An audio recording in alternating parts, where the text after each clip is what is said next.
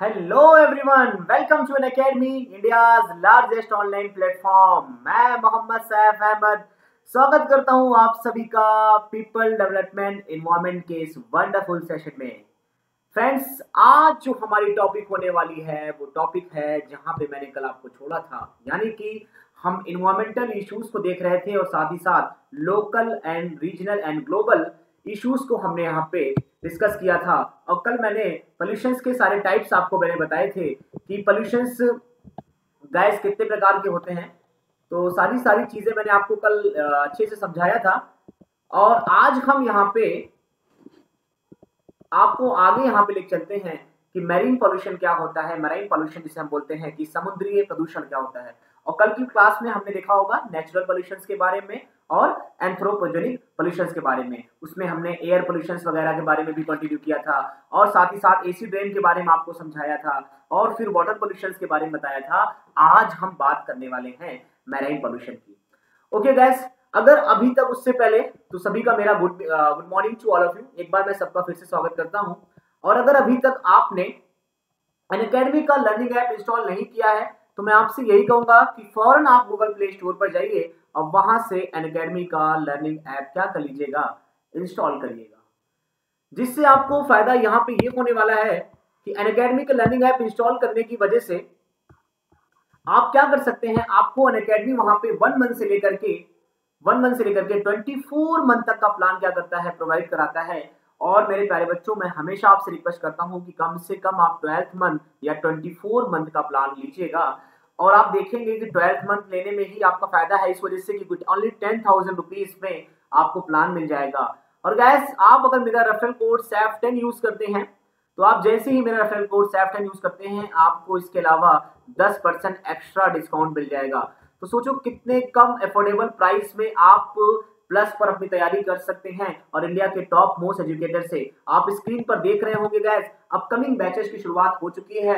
Hurry up मैं आप सभी से यही कहूँगा कि आज लास्ट डे है thirty first of December okay तो प्लीज़ आज के बाद वाकई आप लोगों की फ़ीस एन अकेडमी पर एनडीयूडीसी के लिए हाइक होने वाली है।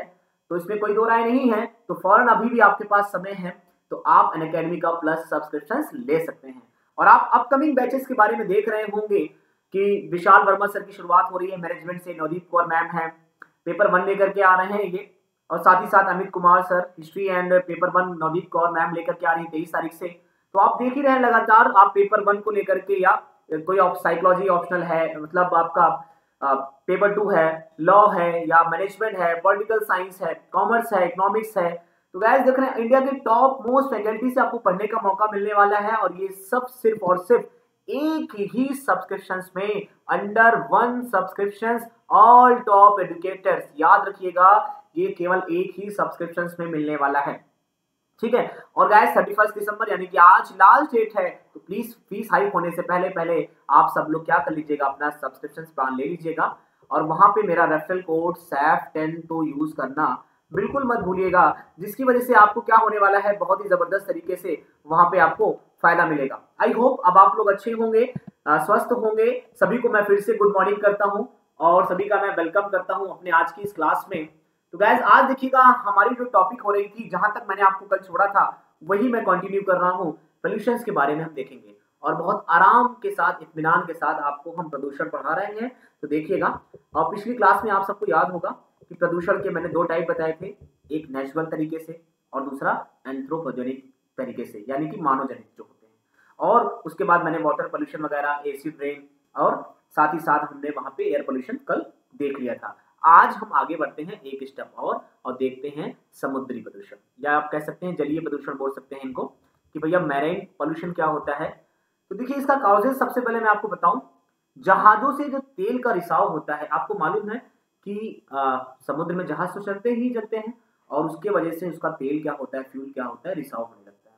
उसकी वजह से भी हमारा जो समुद्र है वो पॉल्यूटेड होता है। और उस समुद्र के पोल्यूटेड होने की वजह से क्या होगा? जो वहाँ पर रहने वाले जलीय जीव जंतु हैं, उनको वो नुकसान करेगा। ठीक है? चले, आगे बढ़ते हैं। उसके बाद हम देखते हैं औद्योगिक और कृषि एवं घरेलू अपशिष्ट को लेकर के। यानी आप सोचिए, कैसे मैरिन पोल्यूशन में औद्योगिक यानी इंडस्ट्रीज़ का क्या रोल है? आपको मालूम होगा, जब हमारे यहाँ कोई भी इंडस्ट्रीज़ होती है, उसका पानी हम कहाँ भेज देते हैं? नालों के ज़रिए वो नदी में जाता है, नदी के ज़रिए वो समुद्र में मिलता है। तो इस हिसाब से इंडस्ट्रीज़ से जहाँ पे एक तरफ़ डेवलपमेंट हो रहा है, वहीं दूसरी तरफ़ क्या हो रहा है? पॉल्यूशन भी हो रहा है। और किसी और घरेलू अपशिष्ट, आप जो हमारा, जो लोकल चीज़ें हैं, जो हमारा घरे डोमेस्टिक वेस्ट है, हम डोमेस्टिक यू कहीं ना कहीं डोमेस्टिक वेस्ट की वजह से भी, हमारे आपके डोमेस्टिक वेस्ट की वजह से भी डोमेस्टिक वेस्ट की वजह से भी क्या होता है? मरीन पोल्यूशन हो रहा है। और यहाँ पे हम तीसरा पॉइंट देखते हैं, नाभिकीय एवं रासायनिक अपशिष्टों की। कि किस तरीके से पूरा का पूरा केमिकल वेस्ट की डंपिंग हो जा रही है समुद्र में, नाभिकियों की डंपिंग हो जा रही है। तो ये कहीं ना कहीं भैया हमारे समुद्री प्रदूषण को ये क्या कर रहा है, बढ़ा रहा है। और साथ ही साथ एसिड रेन की वजह से, अभी एसिड रेन देखिएगा, कल ही मैंने आपको अपने लेक्चर में समझाया था कि सल्फ़र एंड नाइट्रोजन के ऑक्साइड के कारण एसिड रेन होती है। और जिससे पूरी की पूरी तरीके से, बहुत ज़बरदस्त तरीके से नुकसान होता है। तो कल जिन्होंने नहीं देखा है मेरा लेक्चर मैं उनसे रिक्वेस्ट करूँगा कि प्लीज़ आप चाहिए और मेरे प्रीवियस लेक्चर को देखिएगा, वहाँ पे आपको सारे टॉपिक कवर हो जाएँगे। ओके फिर मैं यहाँ बात कर रहा था कि अब भैया मैराइन पोल्यूशन की वजह से जो कॉजेज देख लिए, अब इसके प्रभाव को देख लेते हैं। यानी कि इससे वजह से क्या क्या इफ़ेक्ट हो रहा है, उसको भी हम देख के चलते हैं। सबसे पहले तेल के रिसाव के कारण सूर्य के प्रकाश के प्रवेश में कमी हो। तेल के रिसाव के कारण सूर्य के प्रकाश के प्रवेश में कमी हो रही है, क्योंकि जब सरफेस पर अर्थ जब वाटर सरफेस पे क्या हो जाएगा? तेल आ जाएगा। और जब तेल आपको मालूम हो गाढ़ा होता है तो सूर्य की जो किरणें जाती हैं समुद्र के अंदर, पानी के अंदर, जिससे हमारे जलीय जंतु जो क्या होते हैं बेनिफिट उठा पाते हैं अपना। क्योंकि सनलाइट तो बहुत ज़रूरी है ना, किसी के भी डेवलपमेंट के लिए, चाहे इंसानों के लिए हो, या जानवरों के लिए हो, या समुद्री जानवरों के लिए हो, जंतुओं के लिए हो, उनके लिए, सबके लिए सनलाइट ज़रूरी है। लेकिन जब सनलाइट ही नहीं इंटर कर पाएगी तो फिर क्या होगा? वहाँ पे सारी चीज़ें अच्छे से नहीं हो पाएँगी और इसका इफ़ेक्ट यही होगा, जो जलीय जीव जंतु हैं, उनकी डेथ होने लगेगी और इनकी मृत्यु होने लगेगी। आई होप आपको पहला पॉइंट क्लियर हो रहा होगा। जब जल्दी से मेरे प्यारे बच्चों, आप लोग कमेंट करके बताते रहिए कि यस सर सारे पॉइंट्स क्लियर हो रहे हैं। देखो, आपको अगर समझ में आ रहा होगा, जिस तरीके से मैंने अभी तक आपको समझाया है तो आगे भी सारे टॉपिक इसी तरीके से कंटिन्यू करूँगा और जब बेसिक क्लासेस आपकी खत्म हो जाएगी तो एकदम डिटेल में शुरू कर दूँगा मैं। ठीक है? तो आप लोग इसी तरीके से जिस टाइम का ख्याल रखिएगा, और ठीक दस बजे मैं आ जाता हूँ तो उसका आप लोग ख्याल रखिएगा। और प्लीज़ गाइस मैं आपसे फिर कर रहा हूँ मैक्सिमम से मैक्सिमम लाइक करते रहो इसको शेयर करते रहो तो ज़्यादा से ज़्यादा लोगों तक ये बात पहुँच जाए। चलो, दूसरा पॉइंट हम यहाँ देखते हैं, समुद्रीय पक्षियों के पंख पर तेल का जमाव। देखना, यानी कि एक तो हमने देखा, तेल के रिसाव के कारण सूर्य के प्रकाश के प्रदेश में कमी हो रही है, जिसकी वजह से क्या होता है, जो जलीय जंतु हैं, उनकी डेथ हो जा रही है। और दूसरा क्या है कि जो समुद्री पक्षी होते हैं ना वो भी देखिएगा पानी के सरफेस पे जाते रहते हैं और उनके पंख पर क्या हो रहा है तेल का जमा हो जा रहा है जिनकी वजह से पूरा का पूरा हमारा बायोडाइवर्सिटी या कह ले सकते हैं इकोसिस्टम भी डिस्टर्ब हो, हो रहा है। तो इस तरीके से समुद्री प्रदूषण हमने उसके कॉजेस को देखा और साथ साथ उसके प्रभाव को देखा। आई होप आप सबको यहाँ पे चीज़ें क्लियर हो रही होंगी। ठीक है अब यहाँ पे हम आगे देख के चलते हैं।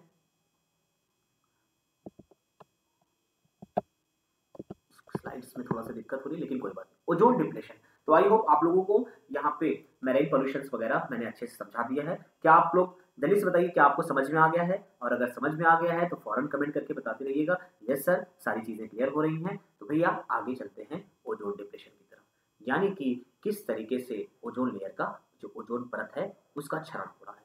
ये देखिए, बहुत इंपॉर्टेंट इश्यूज़ है। हमें सब चीज़ का ध्यान में रखना होगा, तभी हम पोल्यूशन से निपट पाएँगे। और आपके सिलेबस में देखिएगा जो यूनिट पूरी की पूरी सेवन यूनिट है, यानी यूनिट नाइन में जो सात चैप्टर हैं आपके। तो वहाँ पे देखिएगा पोल्यूशन को लेकर के बहुत इंपॉर्टेंट फैक्ट हैं। इन्वायरमेंटल इश्यूज़ को लेकर के बहुत से क्वेश्चन पूछते हैं। और इन्वायरमेंटल इशूज़ फ़र्स्ट डे की मेरी क्लास में देखिएगा, इस लेक्चर का फ़र्स्ट इन्वायरमेंटल इशूज़ की क्लास का। वहाँ पे मैंने बात किया था लोकल लेवल पे, उसके बाद मैंने रीजनल लेवल पे बात की थी, और फिर ग्लोबल लेवल पे। तो ये सारे के सारे पोल्यूशन हम जब देख रहे हैं ग्लोबल लेवल के टाइप पे देख रहे हैं पूरी तरीके से वैश्विक समस्या है, किसी एक देश की समस्या नहीं अब ओजोन डिप्रेशन हो रहा है तो सिर्फ़ भारत का नुकसान थोड़ी ना है इससे। हम्म? भाई, पूरे विश्व का नुकसान हो रहा है। तो इसी हिसाब से हम आगे देख के चलते हैं ओजोन परत का क्षरण। देखो, यहाँ पे टोजोन नहीं तो ओजोन होगा। ओजोन एक विषैली गैस है, सबसे पहले। आप लोग, सब लोग जानते रहिएगा। ओजोन क्या है? एक विषैली गैस है, जो धरातल के निकट हमारे लिए हानिकारक है। परंतु समताप मंडल में मौजूद समताप मंडल में मौजूद ओजोन सूर्य की हानिकारक किरणों से जीव जंतुओं की रक्षा करती है। जीव जंतुओं की रक्षा करती है। कैसे? मैंने आपको बोला कि वैसैली गैस है, ठीक है, बहुत ही ज़्यादा हार्मफुल और साथ ही साथ ये क्या है, जो संताप मंडल में मौजूद जो ओजोन है, जो ये लेयर है, वो क्या करती है, जो सूरज की, जो सन की हानिकारक किरणें आती हैं, ठीक है, जो हार्मफुल रेज आती है, उससे जीव जंतुओं की और हमारी आपकी रक्षा होती है। तो इस वजह से ओजोन का अगर डिप्लेशन होना होता गया तो बहुत दिक्कत की बात है ओजोन लेयर का। ठीक है? हाँ कहीं ना कहीं हम लोगों को अभी देखिए, मैंने आगे एलोबरेट किया है आई होप आप इस चीज़ को समझ जाएँगे। देखो भैया, ओजोन की जो लेयर है अल्ट्रा वायलेट रेस वहाँ से निकलती है और वो तीन प्रकार की होती है। यहाँ ध्यान रखिएगा, तीन प्रकार की अल्ट्रा वायलेट रेस होती है यूवी यूवी रेज होती है, ठीक है? और हम पहले प्रकार को बोलते हैं यू यूवी ए दूसरे प्रकार को हम बोलते हैं यूवी बी एंड तीसरे प्रकार को अल्ट्रावायलेट अल्ट्रावायलेट सी देखो, अब इसके बारे में थोड़ा सा डिटेल में देखिए, अभी मैंने थोड़ी देर पहले बताया ओजोन क्या है? विषैली गैस है।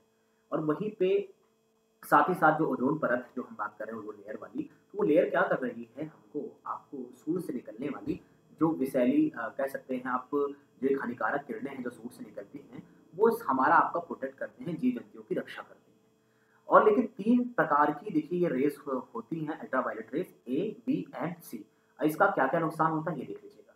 सबसे पहले अल्ट्रावायलेट ए की वजह से यहाँ पे प्री मेच्योर स्किन यानी झुर्रियों का निर्माण होता है। आप लोग को देखा होगा आपने, बहुत से लोग ऐसे हैं, एकदम यूथ दिखते हैं, लेकिन उनकी झुर्रियाँ एकदम झाई पड़ जाती हैं चेहरे तो कहीं ना कहीं क्या हो रहा है, ये प्री मेच्योर स्किन होती है जैसे लगेगा एकदम खुरदरा खुरदरा। आपने कभी प्रैक्टिकली इस चीज़ को कभी फील किया होगा या देखा होगा कहीं ना कहीं, ठीक है?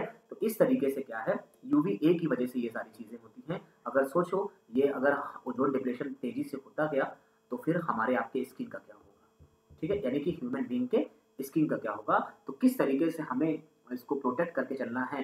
कैसे अपने इन्वायरमेंट को ख्याल रखना है? भैया टॉपिक में ही आपको पढ़ाया जा रहा है ना कि सस्टेनेबल डेवलपमेंट मिलीनियम डेवलपमेंट। तो सस्टेनेबल डेवलपमेंट में हमने यही तो देखा है कि विकास तो बहुत अच्छी चीज़ है, बिल्कुल डेवलपमेंट करना चाहिए। लेकिन भैया इन्वायरमेंट पर उसका जो प्रभाव है वो कम पड़े और भविष्य में आने वाली पीढ़ियों के लिए संसाधन हम क्या रखें? बचा के रखें। तो एक तो रिसोर्सेज को सेव करके चलना है, दूसरा इन्वायरमेंट पर इम्पैक्ट को भी ध्यान में देख के चलना है। और anthropogenic activities and their impact on environment तो सारी की सारी चीज़ें देखो, मैं आपको पढ़ा भी रहा हूँ, आगे डिटेल में पढ़ाऊँगा भी। तो सारी सारी चीज़ें हमारे आपसे रिलेटेड हैं। तो ये पर्यावरण पूरा का पूरा बहुत इंपॉर्टेंट टॉपिक होता है। सिलेबस में इसीलिए डाला गया है कि बच्चों, आप इसका अध्ययन कर सको और आप इससे कुछ सीख सको, कुछ समझ सको, लोगों को समझा सको। आई होप आप लोगों को बहुत अच्छे से समझ में आ रहा होगा। अगर आप लोगों को समझ में आ रहा है तो मेरे प्यारे बच्चों, जल्दी से कमेंट करके बता दीजिए। यस सर सारी चीज़ें समझ में आ रही है, बहुत मज़ा आ रहा है। और हाँ मज़ा आ रही होगी तो गैस लाइक कर दीजिएगा, इसको शेयर कर दीजिएगा। मैक्सिमम से मैक्सिमम लोगों तक ये बात पहुँचा दीजिए। मैक्सिमम देखिए एन अकेडमी आपके लिए इतना शानदार प्लेटफॉर्म लेकर के आई है तो प्लीज़ मैं आप सबसे रिक्वेस्ट करता हूँ तो आप भी इसको प्रमोट करिए, और आप भी लोग जिस तरीके से यहाँ पे देखिए अकेडमी आपके लिए फ्री ऑफ़ कॉस्ट सारी की सारी चीज़ें आपको यहाँ पे अवेलेबल करा रही है। पूरे के पूरे टॉप फैकल्टीज से आपको यहाँ पे देखिए जीआरएफ उद्देश्य 2021 है।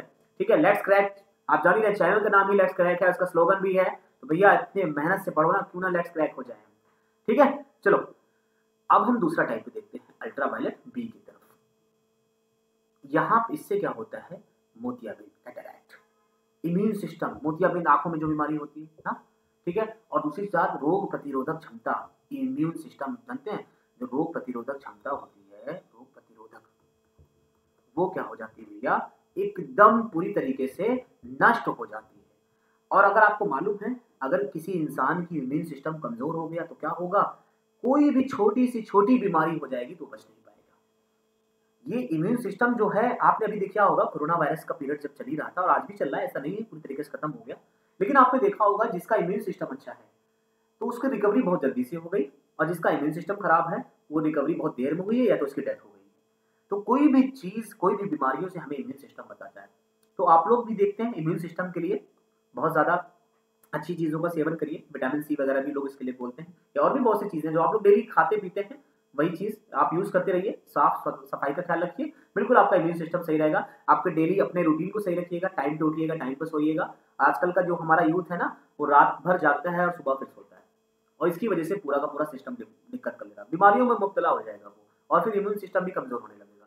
तो याद रखिएगा नेचर के साथ हमें अपना तालमेल बिठा के चलिए। टाइम का ख्याल रखिएगा और सब कुछ हम अगर टाइम के पंक्चुअल हो जाएँगे तो टाइम हमें कामयाब कर देगा।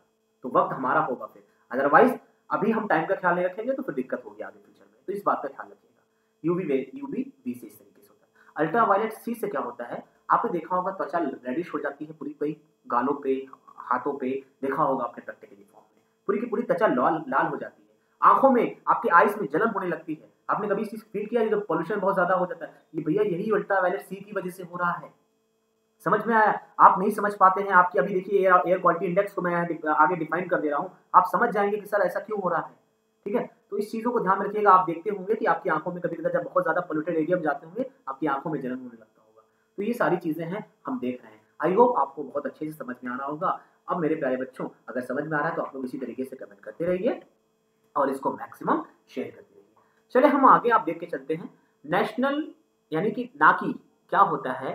नेशनल एयर क्वालिटी इंडेक्स ये आपको जानना बहुत ज़रूरी है, क्योंकि एयर हमारे एयर पोल्यूशन मैंने आपको पढ़ाया ही था कल।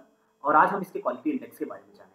ठीक है? पूरा का पूरा इसका क्या पैमाना है क्या है वो हम सारी चीज़ें आपको अपने लेक्चर में बताने वाले हैं। देखो बच्चों पर्यावरण मंत्रालय द्वारा इसको जारी किया, जाता है पूरी चीज़ मैनेज किया जाता है इसको। और ये वायु के गुणवत्ता को मापने के लिए होता है। यानी कि एयर की क्वालिटी को क्या करता है? एयर की क्वालिटी को मेजर करता है। ठीक है? और साथ ही साथ हम आगे अभी चार्ट फ्लो चार्ट आपको दिखा रहे हैं, आप समझ जाएँगे। और वायु प्रदूषण के छह जो इसके स्तर होते हैं, उस छह स्तर को हम यहाँ पे देखेंगे। सॉरी आप स्क्रीन पर यहाँ पे देख रहे होंगे गैस कि हमें वो जो छह स्तर है कौन कौन से हैं? एयर क्वालिटी इंडेक्स के। एयर क्वालिटी इंडेक्स ठीक है? अब आपको मैं बता दूँ, आप बिल्कुल अपने शहरों में देखते होंगे एयर क्वालिटी इंडेक्स मीटर लगा रहता होगा एक मीटर लगा रहता होगा, ठीक है? वो चलता रहता होगा, उस पे एयर क्वालिटी इंडेक्स और आप अपने फ़ोन में भी चेक कर सकते हैं। आजकल तो स्मार्टफ़ोन है लोगों के पास, आप अपने स्मार्टफ़ोन में चेक करिए। कि देखो, आप जिस एरिया में हैं, या उस जगह की एयर क्वालिटी इंडेक्स क्या है? तो मैं आपको कुछ चीज़ें बेहतर बता देता हूँ। देखो, ये इंडेक्स है एक से पचास पॉइंट इक्यावन से सौ, एक सौ एक से दो सौ दो सौ एक से तीन सौ तीन सौ एक से चार सौ, और चार सौ एक से पाँच सौ। तो अगर आपका एक से पचास इंडेक्स दिखला रहा है, जिस जगह की समझ जाइएगा एयर क्वालिटी क्या है। अच्छी है, बेहतरीन है, ठीक है? और उसका यहाँ पे रंग आपको मैंने इस वजह से लिख दिया है कि एक्चुअली इसको मेजर करने के लिए, एक आइडेंटिफिकेशन करने के लिए ये बात बोला जाता है कि गहरा हरा, वहाँ पे इंडिकेट करेगा, ठीक है? तो आप ऐसा समझो एयर क्वालिटी इंडेक्स अगर एक से पचास के बीच में रहेंगी तो हम आप कह सकते हैं कि गुड हमारी एयर क्वालिटी क्या है? बढ़िया है, कोई दिक्कत नहीं। लेकिन इक्यावन से सौ के बीच में भी होगी तो हम कहेंगे, चलो ठीक है, बहुत अच्छी तो नहीं है, लेकिन हम लोग संतोष हैं। ऐसा हम लोग बोलते हैं चलो ठीक है तो चलो ठीक है वाला, यही क्वालिटी होती है फिफ्टी वन से हंड्रेड के बीच में। लेकिन जैसे जैसे आप हंड्रेड से टू हंड्रेड के बीच बैठेंगे यहाँ पे नॉर्मल होती जाएगी, सामान्य होती जाएगी। लेकिन 200 के ऊपर जब आप पहुँचेंगे 200 से 300 तो हम बोलेंगे, भैया, बहुत बुरी कंडीशन अब शुरू हो रही है। पुअर अब हवा की गुणवत्ता क्या है? खराब है। अब सांस लेना और आपके लिए दिक्कत है।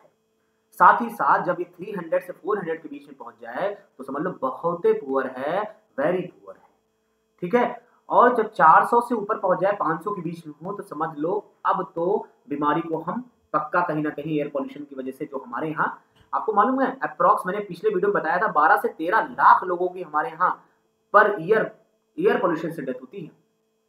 ठीक है? तो आप समझ सकते हैं एक्सट्रीम लेवल और आपको मैं बता दूँ कि आप देखते होंगे कि यहाँ तक तो 500 से ऊपर चला जाता है 600 तक। आप खुद अपने मोबाइल में चेक कर सकते हो या आपके आसपास शहरों में जो महानगरों से बिलोंग करते होंगे, वहाँ पे ज़रूर एयर मीटर लगा होगा, एयर क्वालिटी इंडेक्स। आपने कभी इस चीज़ को फेल फेस किया होगा, पूरी तरीके से मुझे पूरा उम्मीद है। तो अब गैस ये सारी चीज़ें आप वहाँ पे देख सकते हो। वो चीज़ों को आप वहाँ पे फील कर सकते हो, ठीक है? तो आप भी, और ये सब पोल्यूशन कैसे रुकेगा? ये सब पोल्यूशन देखेगा अगर नेचुरली तो नहीं कह सकते, लेकिन हमारा एंथ्रो ज़्यादा है। यानी कि मानव की वजह से बहुत ज़्यादा हम कर रहे हैं। एक तरफ़ इंडस्ट्रीज़ और सारी चीज़ें हमारी हम बढ़ा रहे हैं डेवलपमेंट के नाम पे, लेकिन हम बिल्कुल इन्वायरमेंट को एकदम इग्नोर करके चल रहे हैं। भैया, अगर आप इन्वायरमेंट को इग्नोर करके चलोगे तो आने वाले भयावह स्थिति के साथ फेस करने के लिए आप तैयार रहिए। ठीक है? इस तरीके से पूरा का पूरा। और वैसे आप, मैंने यहाँ पे कलर लिखा है तो इस तरीके से इंडिकेट किया जाता है तो कलर भी आप चाहें तो स्क्रीनशॉट ले सकते हैं। अदरवाइज़ जो चीज़ें मैंने बताई, वो इंपॉर्टेंट ठीक है? मेरे प्यारे बच्चों, देखो, मैंने आपको यहाँ पे दो तीन टॉपिक आज भी कवर किया और आप लोग जल्दी से कमेंट करके बता दो क्या सर वाकई आपको समझ में आ रहा है? अगर समझ में आ रहा है, मज़ा आ रही है तो भैया लाइक कर दो और इसको शेयर कर दो। आसानी के साथ मैं आपको सारा का सारा लेक्चर समझा दूँगा और बहुत मज़ा आने वाली है। ओके चलो भैया, आगे बढ़ते हैं, कुछ और चीज़ें देखते हैं यहाँ पे मैंने कुछ नोट करके रखा है कि कौन कौन से इंडस्ट्रीज़ देखिए, मैं आपको समझा दूँ, कुछ ऐसे उद्योग हैं कुछ ऐसी इंडस्ट्रीज़ है जो एयर क्वालिटी इंडेक्स को आप उससे देख सकते हैं कि किसकी वजह से, किस इंडस्ट्रीज़ की वजह से कितनी एयर क्वालिटी इंडेक्स को हमारा नुकसान पहुँचता है। देखो, सबसे पहले जो एसी कूलर है, ये हमारा ट्वेंटी तक एयर क्वालिटी इंडेक्स रहता है। ठीक है? और कुछ फर्टिलाइज़र है, उसको मैं यहाँ पे देख के चल रहा हूँ। सारी की सारी चीज़ें 20 से 20 तक जो आपका रहता है एसी कूलर से रहता है एयर क्वालिटी इंडेक्स 21 से 40 के बीच में जो आपकी साबुन की इंडस्ट्रीज़ होती है सोप वगैरह, उससे होता है। और 41 से 59 जो आप पेंट वगैरह यूज़ करते हैं ना, और कास्ट उद्योग, यहाँ पे इसकी वजह से रहता है। और 60 से ज़्यादा टेनरीज की वजह से होता है, जो चमड़ा उद्योग होता है। ये चा है? चमड़ा उद्योग। यानी कि जो टेनरीज है फर्टिलाइज़र की इंडस्ट्रीज़ है तो इन इंडस्ट्रीज़ से साठ से ज़्यादा क्या होता है इसका? इसको फ़र्क पड़ता है। हालाँकि ऐसी बहुत सी इंडस्ट्रीज़ हैं जिसकी वजह से हंड्रेड तक पहुँचता है। ठीक है? और फिर उसके बाद पूरे के पूरी तरीके से हम देखते हैं, उसका जो परिणाम हमारे सामने आ जाता है और हम देखते होंगे, आयम तौर पे सर्दियों के दिन में जब सर्दियों की शुरुआत होती है तो हमारा एयर क्वालिटी इंडेक्स बहुत पुअर होती है। ठीक है? इस समय भी आप देखेंगे तो 400 के करीब होगा 405 अब हर शहर का, हर स्टेट का, हर अपना अलग अलग होगा, लेकिन आप खुद चेक कर सकते हैं इस चीज़ को। तो गैस इन चीज़ों को ध्यान में रखिएगा। बहुत ही इंपॉर्टेंट इश्यूज़ मैं आपको बता रहा हूँ कि सिर्फ़ पढ़िए नहीं, बल्कि अपने इन्वायरमेंट को प्रोटेक्ट भी करिए। ठीक है? और देखो, ये सारी चीज़ें थी। एक बार जल्दी से मैं क्यों रिविजन करवा देता हूँ, फिर मैं आपको यहाँ पे आज छोड़ता हूँ। कल नेक्स्ट क्लास में आगे जो यहाँ पे जो टॉपिक है, उसके आगे कंटिन्यू करेंगे। ओके देखो गैस मैं यहाँ पे बात कर रहा था मैरिन पॉल्यूशन के बारे में, समुद्री प्रदूषण के बारे में। उसका कॉजेज मैंने आपको बताया कि जहाजों से जो तेल का रिसाव होता है, वो होता है दूसरा कारण मैंने बताया, औद्योगिक कृषि एंड घरेलू अपशिष्ट की वजह से, जो सारी की सारी चीज़ें इंडस्ट्रीज़ हैं एग्रीकल्चर हैं एंड डोमेस्टिक वेस्ट हैं, उसकी वजह से भी। और साथ ही साथ कुछ हमारी केमिकल वेस्टिंग है, उसकी जो डंपिंग होती है, ये भी एक रीज़न है। और एसिड रेन और एसिड रेन मैंने आपको कल ही के लेक्चर में समझाया है, इस वजह से यहाँ नहीं समझा रहा हूँ। प्लीज़ जिन्होंने नहीं देखा है, वो मेरे कल के वीडियोस को देख लीजिएगा। वो आपको यहाँ पे एसिड रेन के बारे में बकायदा मैंने अच्छे से एक सेपरेट टॉपिक कवर किए पाँच पाँच मिनट में। ठीक है? अब इसका प्रभाव क्या होगा? समुद्री प्रदूषण का सबसे पहला प्रभाव ये होगा कि तेल के रिसाव के कारण सूर्य की जो प्रकाश है, उसकी जो लाइट है, उसकी एंट्री में कमी हो जाएगी। जिसकी वजह से क्या होगा? जलीय जंतुओं की मृत्यु हो जाएगी। ठीक है? और फिर जो समुद्री पक्षों मतलब कि इसकी वजह से पूरा का पूरा हमारा इकोसिस्टम डिस्टर्ब हो जाएगा। पूरी तरीके से। बायोडाइवर्सिटी को लेकर के भी दिक्कत आने लगेगी। तो भैया, एक पोल्यूशन की वजह से कितना ज़्यादा इम्पैक्ट होता है और फिर यही मनुष्य को भी इम्पैक्ट करने लगेगा। ठीक है? और आपको ऐसा आप देखेंगे डिज़ीज़ उसको मैं डिज़ीज़ के चैप्टर में करवा दूँगा कि जो पोल्यूशन की वजह से जो बीमारियाँ होती है ठीक है? तो वो भी कहीं ना कहीं हमारे लिए आ, सारी की सारी चीज़ें उसका डिसइम्पैक्ट ही है। और फिर आगे मैंने बढ़ा और आपको यहाँ पे मैंने ओजोन डिप्रेशन के बारे में समझाया।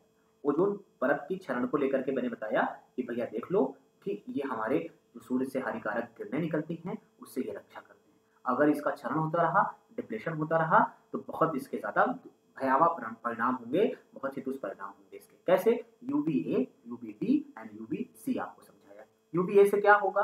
जोरियों का, यानी कि प्रीमेच्योर स्किन होगी। अच्छे से समझा दिया आपको। बी में क्या होगा? मोतियाबिंद को लेकर के कैटेरैक्ट वगैरह और इम्यून सिस्टम क्या हो जाता है? कमज़ोर हो जाता है।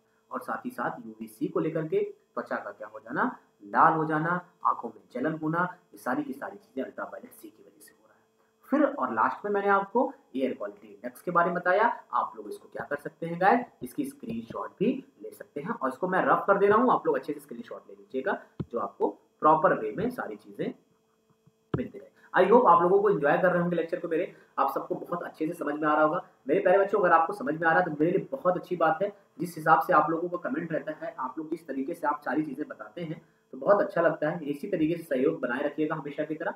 स्क्रीन ले लीजिए और फिर मैं आपको कल नई टॉपिक के साथ मिलूँगा इसी के आगे। तो मैं आपसे ये कहूँगा, भैया, इतने अच्छे से पढ़ाई करो कि अन अकेडमी का जो एक सपना है लेट्स क्रैक इट वाला, वो आपके एग्ज़ाम क्या हो जाए let's crack it let's crack it हो जाए। और आपका चैनल भी है let's crack N T NET तो उसको भैया सब्सक्राइब कर दो और बेल आइकन पर क्लिक कर दो। उससे क्या होगा अपकमिंग वीडियोस के नोटिफिकेशन आपको मिलते रहेंगे और आप हमारे अनकेडमी के इस प्लेटफॉर्म पे सारी की सारी सुविधा लेते रहेंगे। और अगर मैं फिर बता रहा हूँ प्लस पे एडमिशन बहुत तेज़ी से ले लीजिएगा। जिससे फ़ायदा क्या होने वाला है? आप पेपर वन और पेपर टू की तैयारी पूरी उसी प्लस सब्सक्रिप्शन में कर सकते हैं। और अन तो आपके लिए ई सिस्टम भी लेकर आता है। यानी कि मेरे प्यारे बच्चों, जिनको एक साथ फ़ीस पे करने में दिक्कत है, वो मंथली बेसिस पे भी क्या कर सकते हैं? अपनी फीसेस फ़ीस को पे कर सकते हैं और जिससे आप आसानी के साथ पढ़ सकते हैं। ठीक है? आप मुझसे या इंडिया के टॉप की जितने भी टॉप मोस्ट एजुकेटर हैं, आप उनसे पढ़ सकते हैं प्लस पे। और मेरा रेफरल कोड है सैफ्टन तो जैसे ही आप मेरा रेफरल कोड सैफ्टन यूज़ करते हैं, आपको वहाँ पे get ten percent extra off मिल जाएगा। और मैं अपनी क्लास की टाइमिंग बता दूँ कि स्पेशल क्लास मैं पॉलिटिकल साइंस की भी ले रहा हूँ और आपको इन्वायरमेंट भी लूँगा। तो गैस जिन्हें जिन्हें मुझे स्पेशल क्लास को ज्वाइन करना है, मेरी स्पेशल क्लास को ज्वाइन कर लीजिए। और उसकी टाइमिंग है एवरी सैटरडे एंड संडे मैं लेता हूँ special class every Saturday Sunday morning में टेन ए से, यानी इसी टाइमिंग से दस ए से लेता हूँ, ग्यारह बजे तक। और फिर दस से ग्यारह, एक घंटे की क्लास और उसके बाद ग्यारह बजे से लेकर के सॉरी साढ़े ग्यारह से लेकर के साढ़े बारह। आधे घंटे का बीच में मैं हाफ़ एन आवर का ब्रेक दूँगा कि आप लोग खा पी लीजिए, नाश्ता कर लीजिए, और फिर मेरे साथ पोलिटिकल साइंस अच्छे से पढ़िए। और फिर मैं अनिकर्मी पोलिटिकल साइंस के यूट्यूब चैनल पर भी पोलिटिकल साइंस की भी तैयारी कराता हूँ, और यूजीसी नेट के चैनल पर भी पोलिटिकल साइंस पढ़ाता हूँ। अगर मेरे प्यारे बच्चों, आप में से किसी को पॉलिटिकल साइंस पढ़ना है तो आप मुझे वहाँ पे ज्वाइन कर सकते हो, मेरे पहले के वीडियो देख सकते हो आराम से और बहुत मज़ेदार तरीके से मैं सारी यूनिट कवर करा रहा हूँ। और स्पेशल क्लास को ज्वाइन करना मत भूलिएगा। चले ओके थैंक यू अब हम नेक्स्ट क्लास में फिर से मिलते हैं। आई होप आप लोग खुश होंगे। अच्छे से रहिएगा। Okay thank you let's crack it